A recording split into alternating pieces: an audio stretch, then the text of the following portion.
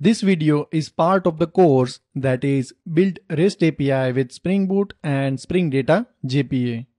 Link for this course is given in the description. Hello and welcome back. In this lecture, we will see how to read the properties from application.properties file in our Spring Boot application. So when we created our Spring Boot application, I told you that in application.properties file, we can have our properties like database properties, URL, username, password, and many things. And also we can have our own set of properties. Say for example, I want to have app name as a property. So what I can do over here is that app name equal to say demo app. So this is my custom property. So this is the key and this is the value. So you need to remember one thing is that this is string value, but here you don't need to have double quotes. Just note it down. Here you don't need to have double quotes, even for the string value. And this is your key. So for the key, you can have anything. It's not like you need to have dot, but it's good to have dot as a separator between your words so that anyone is reading your properties will get better idea. You can do camel case as well like this. This also fine. Basically you need to have key value pairs over here like this and then on the next line you have your next property and that is also key equal to value. So you need to have this kind of thing. So let me have dot separator between my words. So now let's read this property in our controller. So this is our student controller. And here we will use at value annotation and let's have one private string app name variable. With the at value annotation, with the double quotes, first we need to have dollar sign, then curly braces and our key. So that is app.name. Let's import the at value annotation. See, this is provided by Spring Framework. So what will happen when we will start our application? It will read this property with this key from our application.properties file and it will put inside this variable. So let's run our Spring Boot application. So this might take around 10 seconds to get started on port 8080. So let's wait for it. And in the Postman, we will hit the same API. So before that, let's change this thing. So now this get API that we brought will return the app name and that app name is coming from the application.properties. So now let's run the Spring Boot application. So basically this get API will get us the value from application.properties file and that is demo app.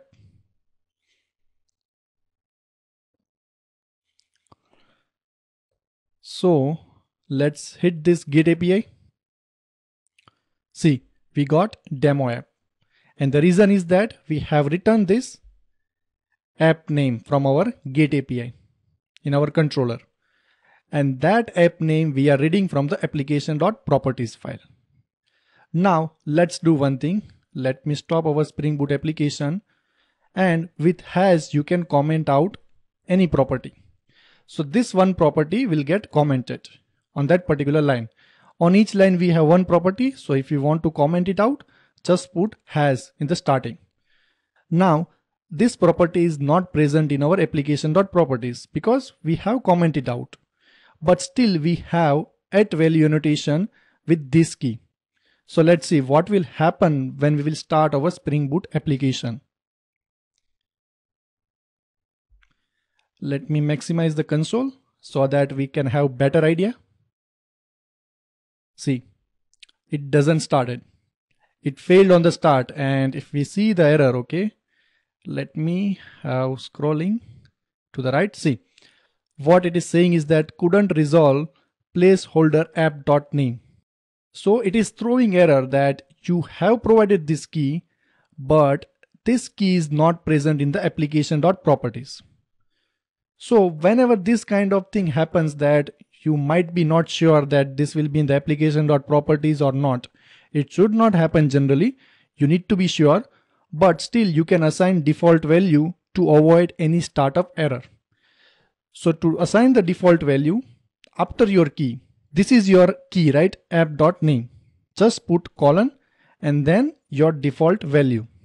Say, I'm saying default demo app.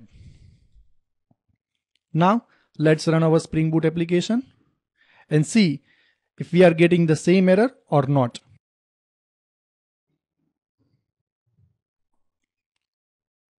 See, we haven't got any error and the application got started on port 8080 in our local machine.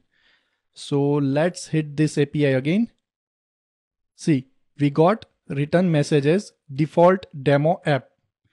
So what will happen whenever this key will not present in your application.properties, it will take the default value whatever you provided after colon. So this is very important to avoid any startup error for your Spring Boot application.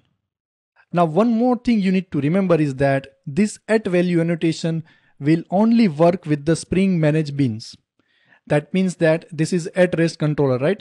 So this will get managed by the Spring. Like at service annotation, if you take at configuration, at component. So in those Spring manage beans, this at value annotation will work and it will read the property from the application.properties file.